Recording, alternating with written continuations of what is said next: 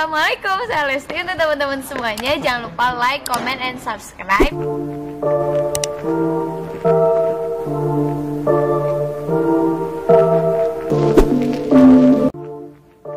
Terus jangan lupa di like, comment, dan subscribe. Terus di share juga ya. Assalamualaikum warahmatullahi taala wabarakatuh. Jumpa lagi dengan kita guys. Tentunya dengan kabar dan informasi terbaru Lesti dan Bilar di malam hari ini yang so pasti udah kita tunggu kebersamaan kemesraan Lesti di saat dibingit. Rupanya Lesti tak tahan dibingit. Akhirnya ya keciduk ia bermesraan dengan Rizky Bilar. Di hari ini di sore menjelang malam di hari ini. Tak lupa di feed instagramnya ia mengunggah. Saat ia bersuah foto mengenakan baju putih dia nampak begitu anggun guys terlihat cantik, manis dan menawan calon manten kita ini.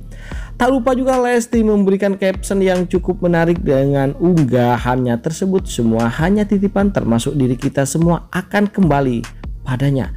Tetap jaga kesehatan, pakai masker dan jangan lupa cuci tangan. Bismillah sama-sama berdoa bumi ini cepat pulih. Amin. Kata Lesti dalam unggahan di feed Instagramnya tersebut. Rupanya ini adalah untuk menunjukkan kemesraannya dengan Rizky bila di hari ini. Terima kasih banyak kau udah melengkapi hidup Dede sama halnya seperti Ever E250 ini nih. Kenapa? Bukan hanya untuk kulit sehat aja, hmm. tapi untuk imunitas tubuh juga. Kita hmm. minum setiap hari rutin sebelum hari H. Pokoknya langsung di swipe up. Walau dengan unggahan yang tak berbeda dengan pakaian berwarna putih yang sama tentunya membuat Lesti nampak anggun saat bersama Rizky Bilar calon manten kita begitu mesra begitu sesuai di hari ini. Rupanya kemesraan ini membuat kita semua baper melihatnya. Tak hanya kita tapi keponakan-keponakan.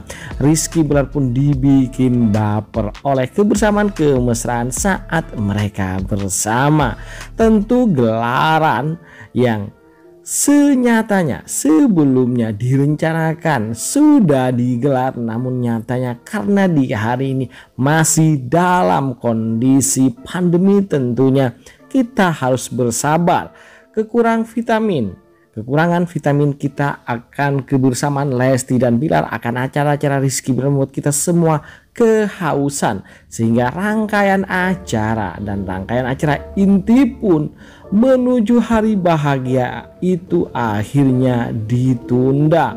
Padahal ya sedari tanggal 4 kemarin mereka semua sudah bersiap-siap. Tapi karena pemberlakuan PPKM oleh pemerintah tentunya kita semua sebagai warga negara harus menghormatinya agar yang namanya negeri kita ini bumi Indonesia ini bisa segera terbebas dari yang namanya wabah.